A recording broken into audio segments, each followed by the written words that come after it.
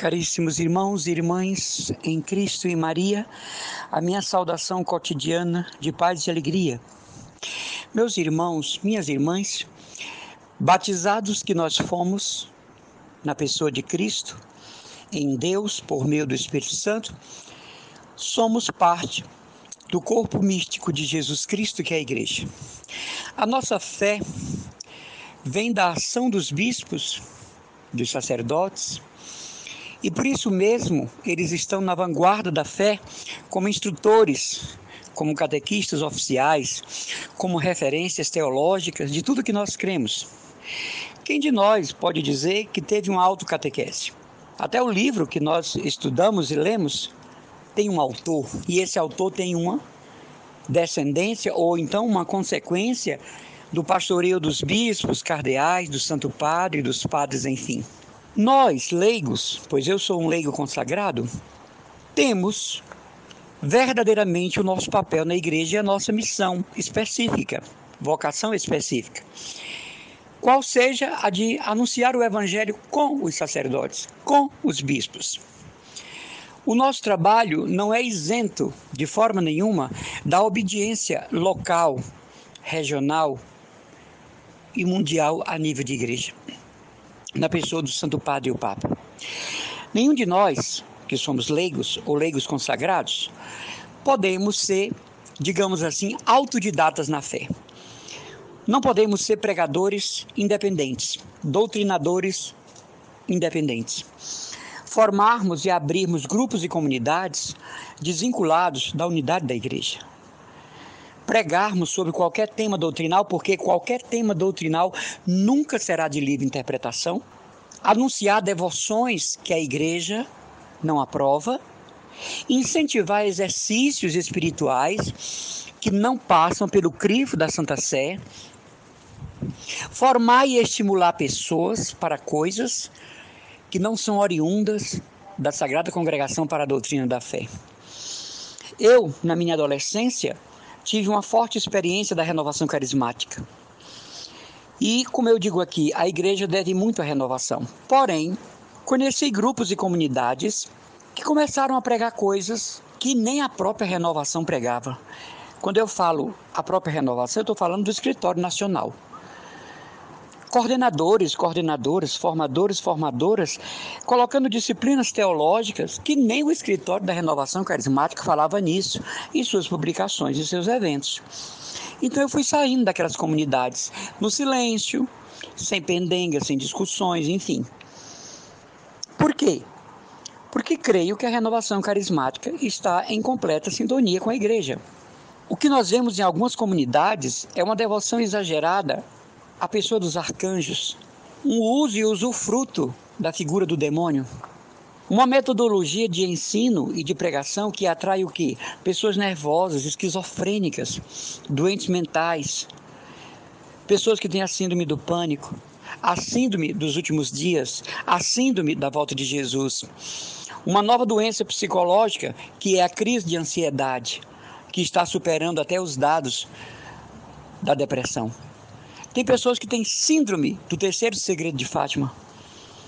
E essas comunidades, sabendo disso, e que podem captar uma fortuna inestimável, inominável, fazem publicações e eventos para atrair esse povo num grande arrastão, entre aspas, catequético, para usufruir do dinheiro da conta bancária dessas pessoas, como já fazem nossos irmãos evangélicos, indiscriminadamente, descaradamente. Então são comunidades de leigos e ali se pratica todo tipo de doutrina que não a doutrina da Santa Igreja Católica Apostólica Romana. Dentro de uma paróquia, o pároco, o vigário, o administrador paroquial, ele está de olho como cada pastoral desenvolve seu trabalho, como cada grupo executa sua tarefa paroquial. Mas quando é um grupo fora de uma paróquia, independente, até mesmo afastado da sede paroquial ou da sede diocesana, costumam aparecer devoções às bobas, como diz Teresa d'Ávila e São João da Cruz. Costumam aparecer doutrinas criadas pelo fundador da comunidade, pela fundadora. E essas doutrinas, elas atrapalham muito, no cômputo geral, a vivência da fé cristã. Dificilmente os membros dessas comunidades perseveram, eles saem logo, quando percebem o engodo, a rede de arrasto. Dificilmente essas pessoas vão muito tempo. Eles passam até muito tempo, mas depois caem fora. E aí estão revoltados e o que é pior, falando mal dessas comunidades na internet dizendo o que acontece lá dentro. Isso para a má reputação de uma comunidade, de um instituto que, na ânsia de ganhar dinheiro, de arrastar dinheiro das pessoas, fizeram publicações, eventos, apenas com o objetivo de ganhar dinheiro, não de ganhar almas. Isso aí não, não passa pela cabeça dos coordenadores. Leigos que somos, Devemos estar em sintonia com a igreja local, nacional e mundial. Leigo que somos, precisamos ter cuidado com o que lemos. Uma simples novena que você ganha, procura o imprimato. Procuro o nada obsta. Procura a assinatura de um bispo, monsenhor ou de um padre. Um folheto que você recebe, procura a procedência, porque aquilo pode estar desvinculado da doutrina da igreja aquilo pode não ser doutrina católica, aquilo pode não proceder da autoridade do Papa. Atualmente na, na, na internet, não é? tem vários institutos pregando contra o Papa e leigos. Então são pessoas que daqui a alguns cinco anos estão fora da espiritualidade cristã, ou então viraram protestantes, ou fundaram sua própria seita, ou estão no mundão porque isso não se estabiliza, isso não se consolida, isso não vai adiante porque o Espírito Santo não assiste.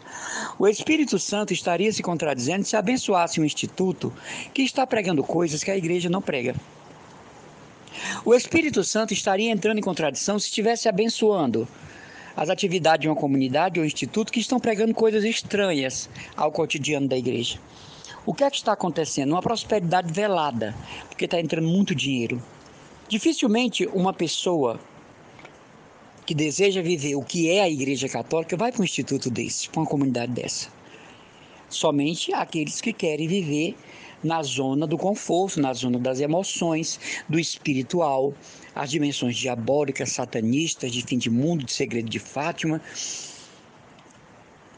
É melhor do que se comprometer com pobres, com projetos sociais, com projetos familiares é melhor do que estar numa paróquia, é melhor do que estar numa pastoral. Ali é uma espécie de paraíso, né? De ilusão. Quanto mais escatologia, melhor. Quanto mais doutrina de fim de mundo, melhor. Até que a pessoa um dia percebe que aquilo é um grande engano. Conheço pessoas que me procuram e dizem: Olha, eu estava em instituto e eu saí porque eu ia perder tudo. Eu já não tinha mais nada, até minhas joias todo o meu dinheiro era para ali. Elas me cegaram, eles me cegaram de uma forma, irmão Emanuel, que eu perdi quase tudo que eu tinha. Então eu disse para ela: você precisou passar por esse engano para descobrir o que é a Igreja Católica. Não é aquilo lá. Nunca foi e nunca será. Muita gente entra, duas vezes mais gente sai e vai para a internet dizer o que passaram. Então, hoje, meus irmãos e irmãs, eu venho dizer: cuidado, o leigo tem um alcance em sua missão. E a missão do leigo é a autoridade da igreja, a autoridade constituída do bispo, arcebispo, dos cardeais, até mesmo dos sacerdotes paroquiais. O limite é a doutrina da igreja. Passou da doutrina, tem algo estranho. E nenhuma doutrina, repita, de caráter de interpretação pessoal, como os nossos irmãos protestantes, que por interpretarem a Bíblia ao seu modo, estão divididas em centenas e centenas de seitas a cada dia. Interpretação livre, sem referência teológica, sem a audição eclesial. Guarde essa palavra, audição eclesial, ouvir a igreja. Os leigos não têm autonomia, os leigos não estão de forma nenhuma livres da unidade e do controle dos bispos, da vigilância e do pastoreio dos bispos e sacerdotes. Os leigos precisam estar atentos. Vocês me conhecem. Eu prego em Fortaleza toda, mas daqui a pouco um evento com cartaz virtual, já, na, já divulgado na internet, a comunidade entra em contato comigo e diz, irmão, é uma irmã adoeceu e não vai ter o evento. Daqui a pouco eu sei que o evento aconteceu. O que foi? O padre, o vigário, o pároco, o administrador paroquial não me aceitou lá. Vou dizer a vocês que eu não fico magoado? Fico. Por quê? Porque isso não é atitude de um sacerdote que perdoa pecados na confissão, né? que transforma o pão e o vinho em corpo, sangue, alma e divindade de Jesus. Não é atitude de um ministro de Cristo, de um alter Cristo, de um outro Cristo. Eu fico triste porque não é atitude de um sacerdote digno, santo, correto, reto. Não é? Muitas vezes aquele padre nem me conhece, só de ouvir falar os inimigos. A minha tristeza é essa, não que me doa, porque eu tenho o voto de fuga das honras. Eu acho até bom, porque naquele dia eu vou ler meus livros, meu Deus, cada livro maravilhoso. O Senhor me deu uma biblioteca vastíssima, graças a Deus. Está aqui sangue, suor e lágrima em cada livro que eu possuo. É? De repente eu, eu vou para uma diocese, daqui a pouco vem um aviso: o bispo da diocese não permitiu. Eu tenho que obedecer. Ele é o pastor do rebanho. Fico magoado porque percebo que não é um bispo segundo o coração de Cristo. Mas o que é que eu posso fazer? Já está ordenado. É a autoridade da igreja. Como é que eu vou para um evento que o bispo local não permitiu?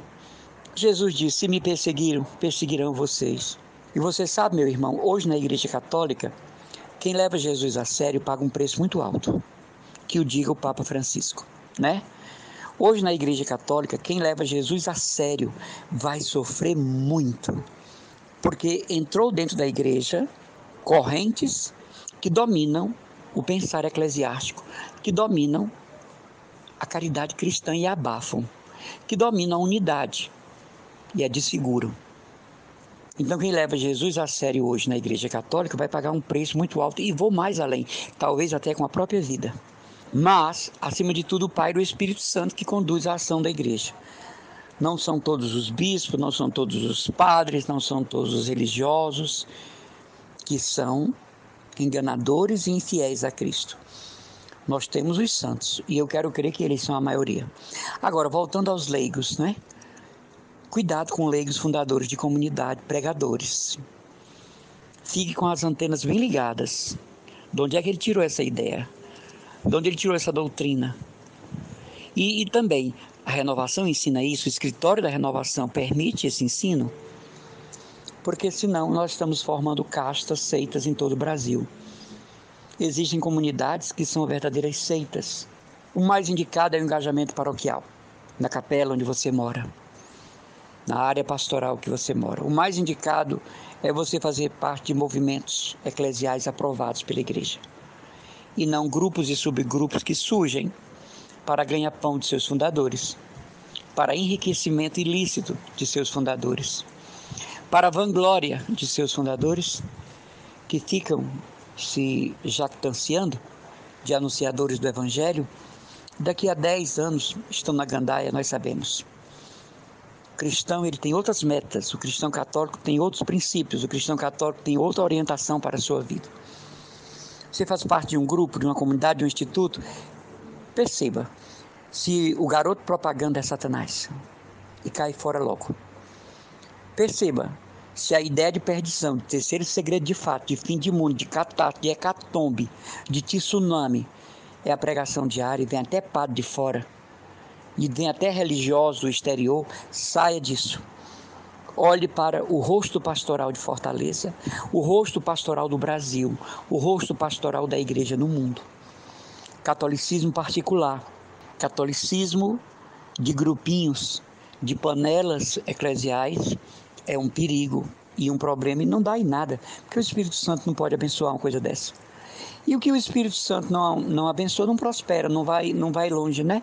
Então, é preciso ver isso. Essa semana eu fui visitado aqui na nossa casa-mãe por uma irmã nossa, membro de uma comunidade aqui de Fortaleza.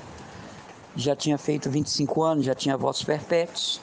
E quando ela chegou, eu já percebi que ela estava sem o sacramental e fomos conversar. E ela me disse: Eu precisei 25 anos para perceber que fui enganada. Eu precisei, irmão Emanuel, de 25 anos para perceber que me formaram para me sentir acatólica. quanta gente eu humilhei, quanta gente eu persegui, quanta gente eu deixei no chão, usando meu sacramental para cima e para baixo.